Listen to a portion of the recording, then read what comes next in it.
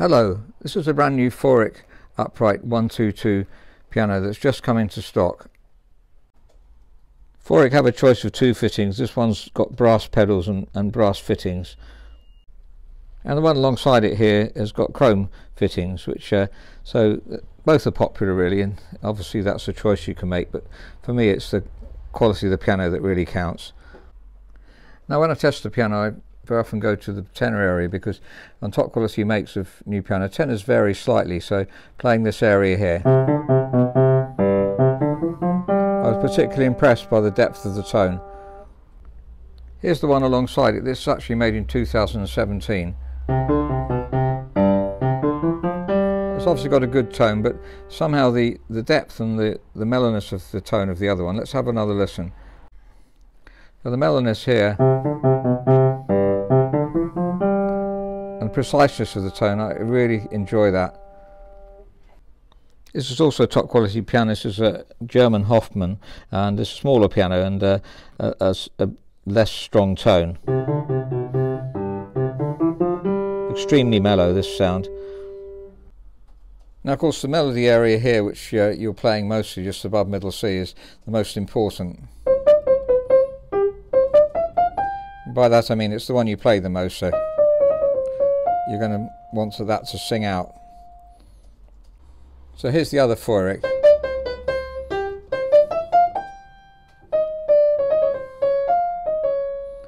So it's a beautiful piano too, but there's some an edge on the one that we just tried. Let's go back to that again.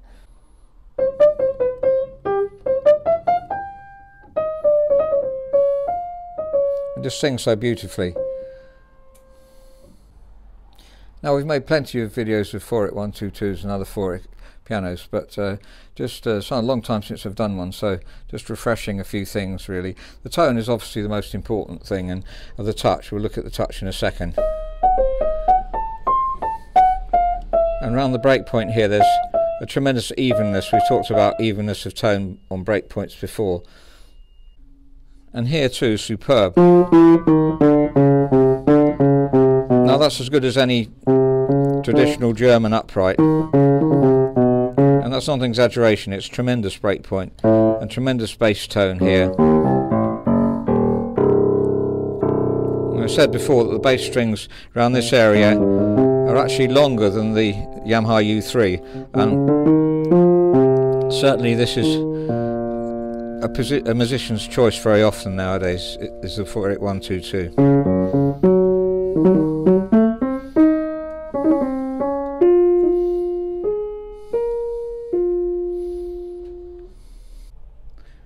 So that's a new four upright piano coming to stock. Just a few things to do. That even the key weighting out. The key weighting is slightly uneven here and there.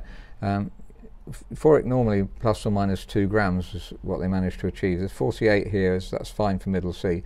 44 is a bit low for, for this C here, so bottom C, that's 44 grams, and gradually going down with 44 grams on.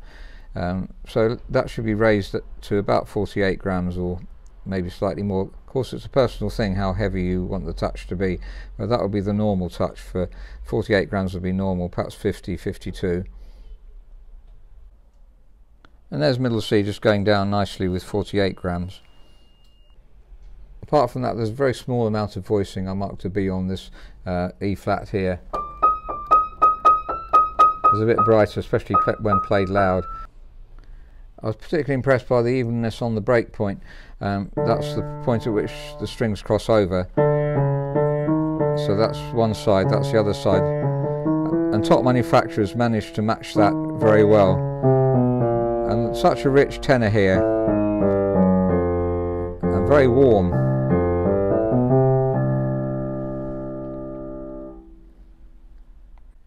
and the treble break again not always well matched on new pianos so that's one side that's the other side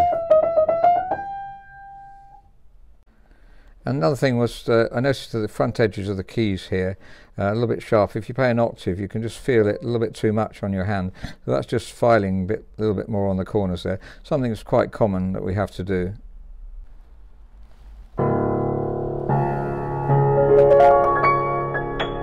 So that's a brand new Feurich 122 upright piano um, and arrived in tune, actually four beats sharp, which is wonderful because with new pianos the strings tend to stretch a bit. So that's excellent. In fact, in every way, I'm so happy with this piano. Just the tone of the notes makes you want to play them individually.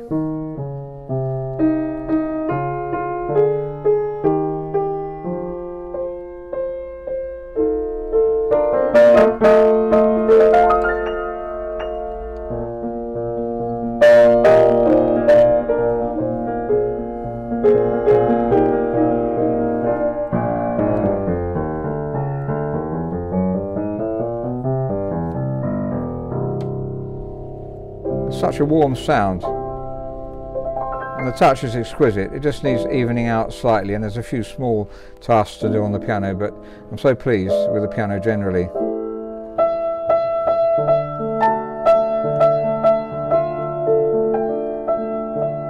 If you're interested, please do write to us info at robertspianos.com. I honestly can say you won't get a better new piano, uh, uh, certainly this price range anyway, and really uh, it competes very well with pianos that are a lot dearer. So thank you very much for listening.